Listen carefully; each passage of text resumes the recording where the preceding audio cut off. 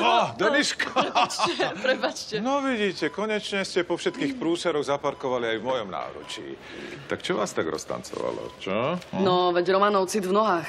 Preca, konečne. Ach tak áno, áno, jeden problém menej. Ešte tak vypátrať, kde sa pred vami zahrabal Polák a dovliezol sem späť na operačku. Aha, vy to ešte neviete. Um, Čo také? Elon Musk ho poslal na ledo vesmíru? skoro. Uh, nechal ma. Našiel si nejakú lepšiu prácu v Nemecku. Čože? Ale veď to by vás malo skôr rozplakať, nie? No, predstavte si, nemám na to čas. Ach, tak to... No tak v tom prípade odvolávam celoštátne pátranie po Polákovi a okamžite musím nájsť za neho niekoho zodpovednejšieho. Či máte nejaký tip? No veď Roman, veď on už bude za chvíľu stať na nohách. Jasné. A naša viera nás všetkých uzdraví. Bože, tak vy nie ste len narcis, ale aj skeptik. A ešte k tomu aj nenapraviteľný romantik.